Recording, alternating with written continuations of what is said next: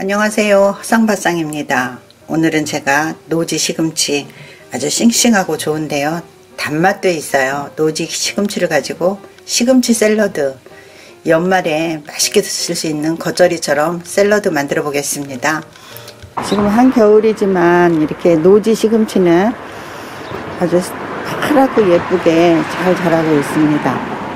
시금치는 제가 노시 시금치 지인 밭에서 이렇게 뜯어온 거 한 줌을 깨끗이 씻어서 정리를 했습니다. 한참 나오는 석류청 시금치 샐러드 만들어 보겠습니다. 들어가는 재료는 시금치 한 줌입니다. 노지 거니까 겉잎 말고 속잎으로 한 줌 준비했습니다. 오이 반 개, 석류하고 방울 도마들은 음식 궁합이 잘 맞는 식재료라고 합니다. 그래서 제가 8개 준비를 했습니다. 오이는 이렇게 동글동글 썰어주세요. 0.5mm로 얄팍얄팍하게. 여기 크다 싶은 거는 반 잘라서 반달 모양 썰어주세요.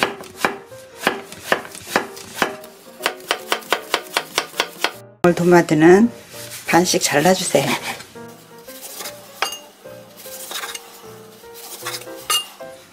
토마토 큰 걸 작게 이렇게 잘라서 하셔도 됩니다.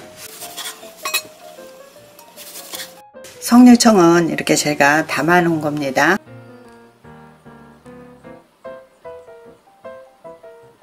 석류청 소스를 만들어 보겠습니다.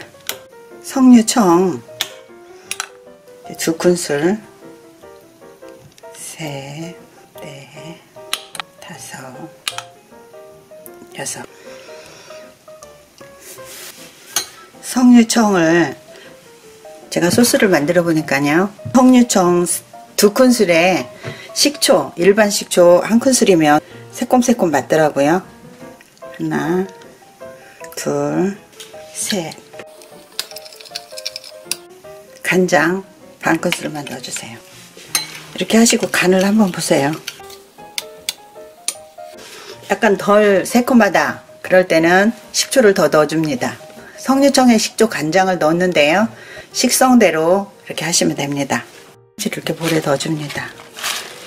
시금치가 제가 속잎으로만 했기 때문에 잎이 그렇게 넓지는 않은데 이렇게 손으로 잘라주세요. 오이도 넣어주세요. 방울토마토 잘라놓은 것도 넣어주세요. 여기에 생 석류가 있으면 두 큰술 넣어줍니다. 이렇게 해서 살짝 버무려 주세요.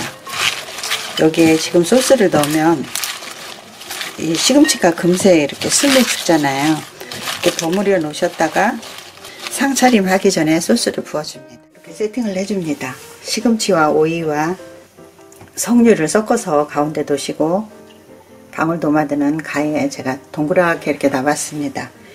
여기에 석류 소스 만드는 거 부어주세요 이렇게 상차림만 하시고 드시기 전에 뿌려주세요. 석류 소스는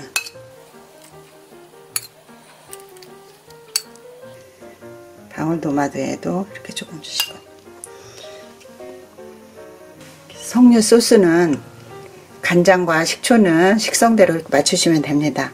달게 드시는 분들은 식초하고 석류, 청만 넣으시고 그대로 이렇게 세팅을 하셔도 됩니다.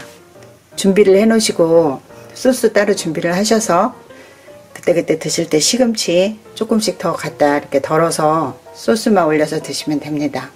화상밥상 다녀가실 때는 좋아요, 구독, 알람 꼭 부탁드립니다. 시청해 주셔서 감사합니다. 행복하시고 건강하세요.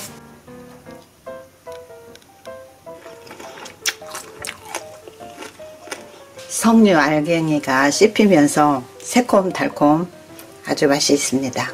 석류는 여성분들한테 좋고 시금치는 아이들한테 좋고 방울도마도는 모든 분들한테 다 좋잖아요. 그렇게 써 연말에 샐러드, 시금치 샐러드, 석류 소스 만들어서 맛있게 한번 만들어 보세요.